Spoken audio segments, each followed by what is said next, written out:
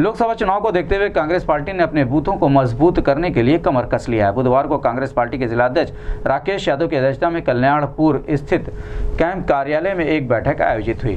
ज़िले में बूथों को मज़बूत करने के लिए तीन तीन ब्लॉकों के ग्रुप बनाए गए हैं। बैठक में पार्षद संजीव सिंह मोहम्मद असलम जयंत पाठक नुसरत अब्बासी नरसिंह नारायण त्रिपाठी अनूप राय ऋषि श्रीवास्तव और राजेश भारती मौजूद रहे। इस संबंध में गोरखपुर संवाददाता से बात करते हुए कांग्रेस पार्टी के जिला अध्यक्ष राकेश यादव ने कहा।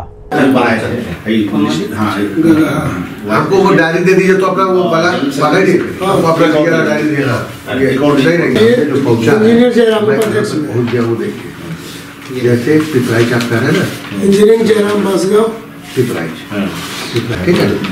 अब ये प्रताप सिंह ये है ये हमारे लोगों तक जवाहिर सिंह।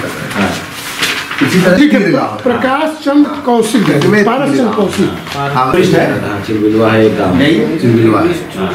आज हमारे यहाँ बैठक जो है, हम ब्लॉकों को जो है 20 ब्लॉकों को हम पार्ट, तीन तीन ब्लॉकों का एक ग्रुप बनाए हैं।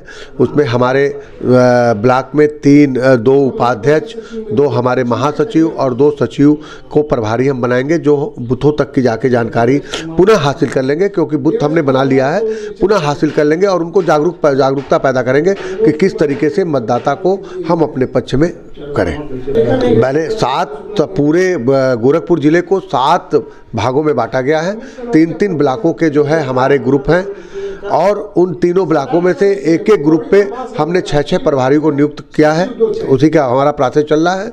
वो छः प्रभारी लगातार जाके उन न्याय पंचायत अध्यक्ष से, हमारे ब्लॉक अध्यक्ष से और न्याय पंचायत की पूरी कमेटी से लगातार संपर्क करते रहेंगे ताकि बूथों पर जो हमारे बूथ बने हैं वो हमारे जागरूक रहें और हमारे पक्ष में जो है लोगों को जागरूक पैदा करें